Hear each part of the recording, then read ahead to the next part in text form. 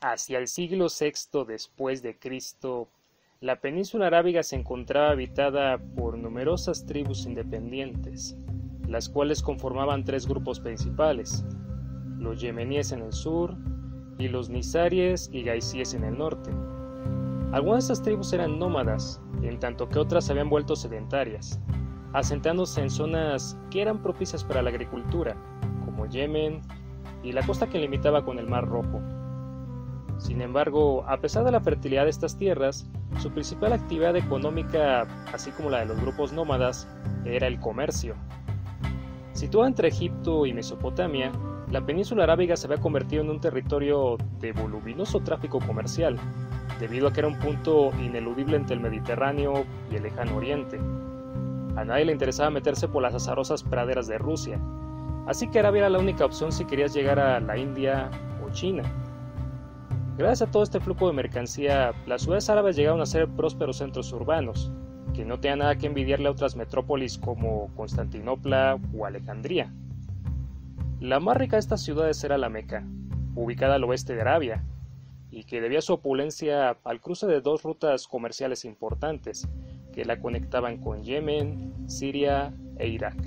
Pero también debido a la cantidad de fieles que la visitaban año con año. ¿Fieles? ¿Pero fieles a qué o quién? Pues a la religión, mi chavo. Porque además de ser un punto de encuentro para los comerciantes, la Meca también era el principal centro religioso de los árabes, que en aquel entonces profesaban un credo politeísta, el cual pues los hermanaba sin importar la clase social o el lugar del que provenían. Todos anualmente acudían a la Meca para orar delante de la Kaaba, que es un cubo enorme que por aquel entonces contenía las reliquias de distintas tribus o ciudades. Junto a la religión, el idioma era otro punto en común para los árabes, pues hablaban la misma lengua y escribían el mismo tipo de alfabeto. No obstante, a pesar de estas dos semejanzas culturales, la relación entre los distintos grupos árabes está muy lejos de ser cordial, ya que constantemente guerreaban entre sí. A veces lo hacían por cuestiones internas que tocaban asuntos exclusivos de la península, pero otras veces lo hacían por interferencia externa. Conscientes de la importancia geopolítica de Arabia, los imperios bizantino y persa sansanita buscaban sacar provecho de las rutas comerciales que pasaban por Arabia.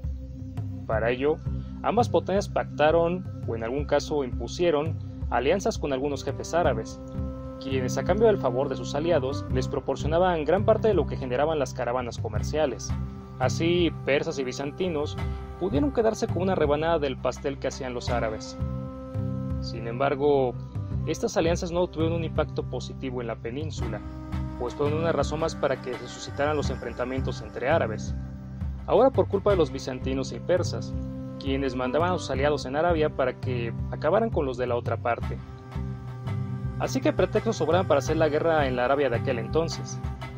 Y fue en este tiempo tan convulsionado que vino al mundo Muhammad ibn Abdalán, o Mahoma como nosotros lo conocemos, quien vendría a revolucionar el mundo árabe, y que sería además el padre de una nueva religión que hoy en día conocemos como el Islam.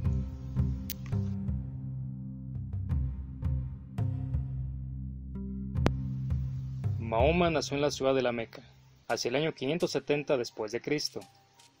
Huérfano de madre y de padre, fue adoptado por su tío, Abu Talib. De joven, Mahoma se dedicó al pastoreo y posteriormente se hizo comerciante, teniendo a su cargo una caravana completa. Gracias a esta actividad, Mahoma conoció a su primera esposa, la viuda Cadigna, de quien Mahoma transportaba varios cargamentos. Mahoma y Cadidna se casaron y posiblemente engendraron siete hijos, de los cuales tan solo una niña sobrevivió y tuvo descendencia. El nombre de esta niña era Fátima, que sí, es nombre árabe por si no lo sabías. Después de casado, Mahoma viajó por toda Arabia, lo que le permitió conocer a distintos tipos de personas, entre ellas a un grupo de monjes cristianos, que se cree fueron los que le despertaron el interés por las cuestiones religiosas. Posteriormente, en el año 610, Mahoma vivió una experiencia mística en las cercanías de la Meca. Se le apareció el diablo. O bueno, cuando menos eso pensó en un inicio, ya que después concluyó que se trataba de una revelación de Alá, que es el nombre por el cual los árabes llaman a Dios. Según esta primera revelación, Alá quería que Mahoma transmitiera su palabra a los hombres, encomienda que éste aceptó, escuchando y memorizando sus palabras durante posteriores revelaciones. Al cabo de tres años Mahoma comenzó a difundir la palabra de Alá entre los familiares y vecinos, ganando así un pequeño grupo de seguidores, mayormente jóvenes, así como extranjeros que vivían en la Meca. En un comienzo las autoridades de dicha urbe toleraron las prédicas de Mahoma, sin embargo al cabo de un tiempo decidieron expulsarlo a él y a su peligresía, debido a que en su doctrina Mahoma señalaba la existencia de un único Dios, cosa que contrastaba enormemente con la religión que tenían en ese momento. El problema con esto era que si Mahoma conseguía jalar mucha gente hacia su credo, estos probablemente dejarían de peregrinar a la Meca, lo que significaba que el comercio de ahí se quedaría sin el dinero de los fieles, y por eso optaron por correrlo de la ciudad. Expulsado de su ciudad natal, Mahoma entonces se refugió en Yatrid, la cual sería un escenario más propicio para la difusión de su doctrina, acrecentando el número de seguidores que ésta tenía. Por cierto, la expulsión de Mahoma de la Meca representa el punto de partida de la cronología maometana, o sea, la línea de tiempo que tienen los musulmanes para registrar los eventos. Por ejemplo, a veces que nosotros decimos nació en el 1200 a.C., bueno, pues es porque en el mundo cristiano armamos nuestra línea de tiempo en relación con el nacimiento de Cristo. De igual manera, los musulmanes lo hacen en relación con la salida de Mahoma de la Meca, que fue en el año 622 de nuestra era, que para ellos pues viene siendo el año 1 de su calendario. Mahoma podríamos decir que es el equivalente de Cristo en el mundo musulmán. Sin embargo, y esto quizá moleste a algunos, no son una copia exacta del uno del otro, pues a diferencia de Cristo, Mahoma se llevó conscientemente su doctrina por el terreno político. No tanto porque esa fuera su intención, sino porque las circunstancias lo orillaron a ello. Como vimos anteriormente, Mahoma viajó por toda la península después de contraer matrimonio, y conoció a mucha gente durante su travesía. Sin embargo, además de conocer gente, también atestiguó las luchas tribales que había por todo el país, que, como veíamos, podían tener tanto motivos internos como externos, y la cosa no era muy distinta en Yatrit, pues sus habitantes se peleaban con otros habitantes de otros poblados. Conmovido por esta situación, Mahoma entonces decidió usar su doctrina para pacificar la región. ¿Cómo? Pues insistiendo a sus seguidores a que buscaran la paz y la conciliación antes de llegar a la violencia. Y bueno, pues también convirtiendo a las tribus que hostilizaban a sus seguidores. Esta doble maniobra al final resultó ser efectiva, eliminando las disputas entre las tribus y dándole a Mahoma un estatus político además del de espiritual. A raíz de este evento, la región comenzaría a unificarse bajo el liderazgo de Mahoma, naciendo entonces la UMA, que significa Comunidad Religiosa Musulmana, la cual agrupaba a todos sus seguidores. Pero la UMA no era una simple asociación religiosa, sino un nuevo tipo de sociedad que alentaba la fraternidad entre sus practicantes. Cabe destacar que a diferencia de la sociedad tribal que imperaba en Arabia, la UMA era una sociedad de carácter abierto, o sea que cualquiera podía ingresar a ella. Solamente bastaba con plegarse al credo musulmán, esto contribuyó bastante a que el número de seguidores se multiplicara. La Meca al ver que Mahoma ganaba poder, comenzó a hablar más de él para intentar desprestigiarlo. Grave error porque los seguidores de Mahoma decidieron hacerle la guerra a la Meca, no de una manera directa, sino asaltando las caravanas comerciales que la surtían. Y la Meca pues respondió a estos ataques, enviando tropas de caballería contra Yatrit. No obstante, los seguidores de Mahoma ya se habían esperado esta reacción, por lo que antes de que llegaran las tropas, estos construyeron una trinchera alrededor de la ciudad, para que ésta actuara como una barrera defensiva. Pero no una trinchera superficial como de 2 metros, no, sino una profunda, como de 10 o 15 metros. Incapaz de ajusticiar a los fieles de Mahoma, la Meca continuó recibiendo ataques en sus caravanas, sin poder hacer nada, por lo que eventualmente comenzaron a considerar llegar a un acuerdo con el profeta. Al final este acuerdo se materializó en el año 628 de nuestra era, acuerdo que los mismos regentes de la Meca rompieron en el año 630, por lo que Mahoma marchó hacia la ciudad con un ejército de más de 10.000 hombres. Sorpresivamente, Mahoma no encontró resistencia en la Meca, por lo que sus tropas pues, no tuvieron que entrar en combate. Esta victoria resonó en toda Arabia, acrecentando el prestigio de Mahoma. Como consecuencia, la mayor parte de la península se plegó a su doctrina, repitiendo así el fenómeno unificador de Yatrid, que de ahí en adelante pasaría a llamarse Medina, que quiere decir la ciudad del profeta. Esto debido a que fue su cuartel general durante la guerra que sostuvo contra la Meca. Una vez conquistada la Meca, Mahoma abolió la antigua religión, pero eso sí, respetó el carácter sagrado de la Kaaba, que a ese momento se convertiría en el santuario de la nueva religión. Y en cuanto a la clase dirigente de la Meca, Mahoma la trató con benevolencia. E incluso, integró varios de sus miembros dentro de sus filas, aprovechando su experiencia administrativa, política y diplomática. Pero Mahoma no quiso conformarse con la unificación de Arabia, y otra vez, movido más por la vena política que por la religiosa, decidió llevar a cabo la expansión de su naciente imperio. Aquí el móvil era otro de los problemas que Mahoma había visto durante su viaje por la península, la pobreza. Sí es cierto que había ciudades prósperas y con una buena producción agrícola, pero solamente representaban el 10 o el 20% del territorio. El resto era un desierto, que no ofrecía mayores recursos a sus habitantes. Por eso algunos de ellos eran nómadas. Consciente de esta limitación natural, Mahoma concluyó que la única manera de sacar a su país de la pobreza era mediante la conquista externa, y por eso se dispuso a realizarla en cuanto consiguió tener el control de Arabia. No obstante, Mahoma murió sorpresivamente en el año 632, luego de venir de una peregrinación de la Meca. Este evento puso en pausa la expansión musulmana y también puso en peligro la estabilidad del imperio, ya que, como era Mahoma el que los había agrupado a todos bajo su doctrina, pues al faltar él automáticamente también se perdía el factor de cohesión. Pero esta desintegración no sucedió, y el imperio musulmán se mantuvo unido bajo los califatos de Abu Bakr y de Omar I, ambos suegros de Mahoma. Si es que pues a Mahoma se le murió la esposa y volvió a casarse, pero nueve veces, porque recordemos que para los árabes no era mal visto tener varias esposas, así que por eso Mahoma tenía más de un suegro, no piensen mal. Ahora, califa fue el título que recibieron los sucesores de Mahoma, que en español vendría a significar algo así como el representante del profeta, en alusión al carácter mesiánico de Mahoma. Bajo el califato de Omar I se inició la expansión planificada por Mahoma, la cual llevaría a los árabes a enfrentarse con el imperio bizantino y persa, las dos más grandes potencias de la región. Pero, ¿tienen los árabes la experiencia necesaria para encarar a estos dos gigantes? Pues ciertamente no. Los persas llevan ya 12 siglos dominando hacia el oriente de la península arábiga, mientras que los bizantinos poseen un fiel reflejo del imperio romano de Occidente. Así que pues ambos tienen un buen historial en el apartado bélico.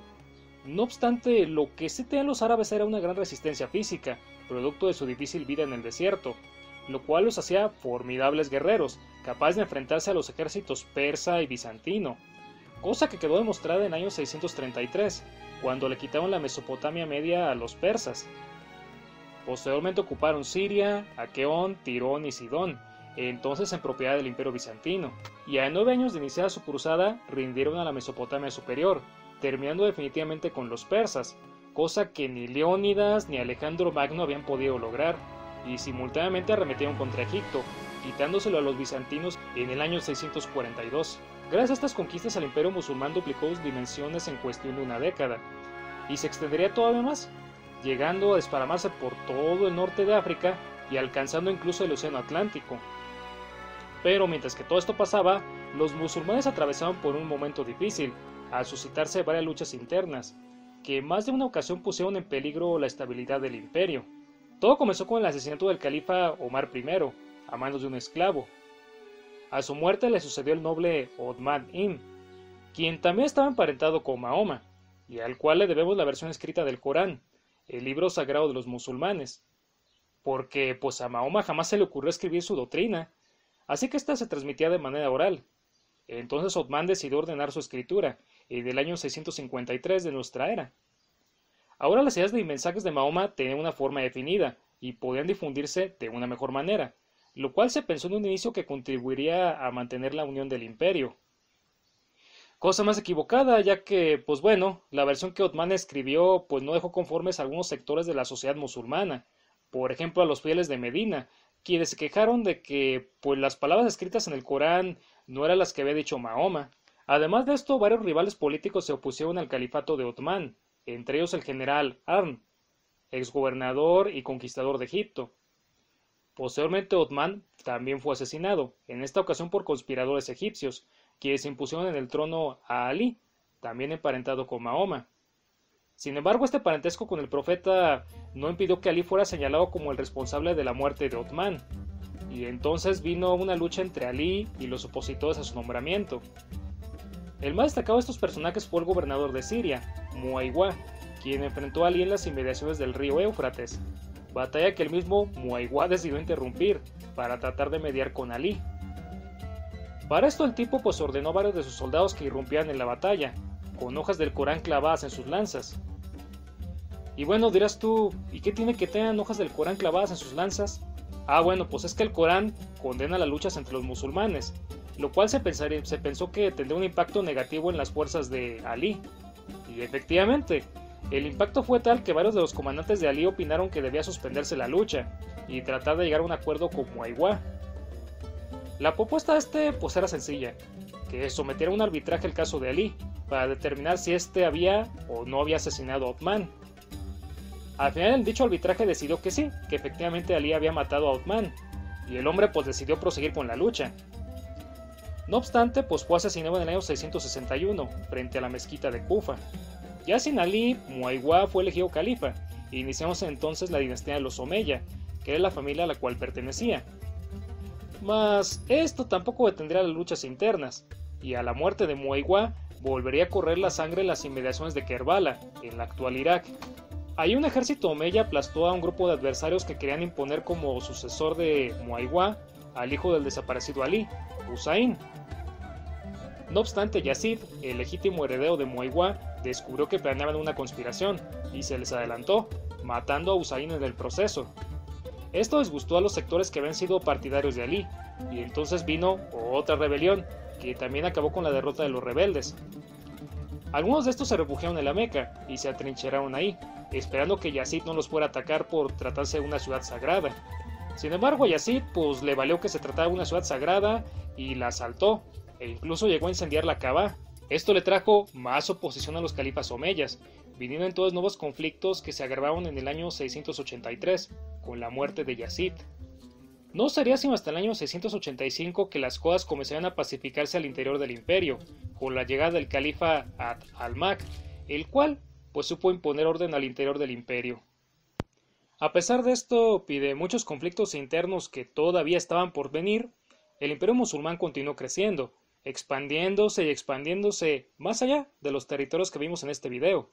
Y un ejemplo esto es Europa, a la cual los musulmanes ingresaron a través de la península ibérica, conquistando España y llegando hasta Francia, donde tocarán a la puerta de Carlomán, padre del mismísimo Carlomagno. Mi nombre es Ayer López y les deseo un buen día.